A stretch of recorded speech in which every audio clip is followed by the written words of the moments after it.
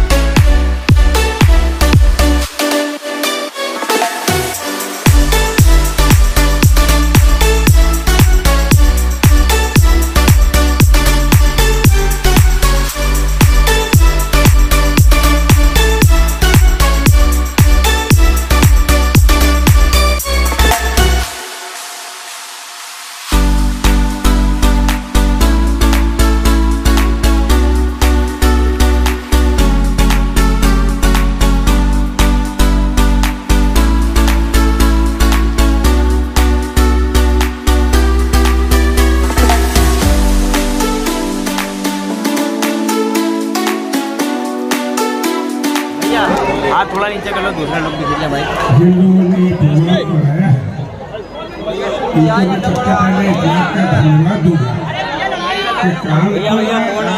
ने सबसे बड़ा देवी जागरण यहाँ हो रहा है और मुझे बड़ी खुशी है कि इतने बड़े कार्यक्रम में मेरे को आने का मौका मिला।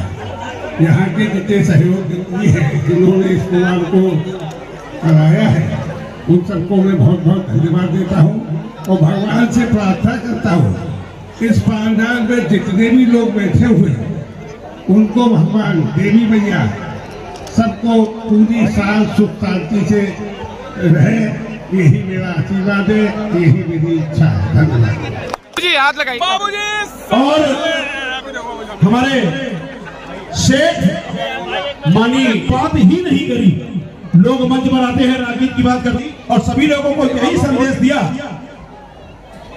पचास हज़ार रुपए भाई साहब ने इस समिति को दिए हैं। भाई साहब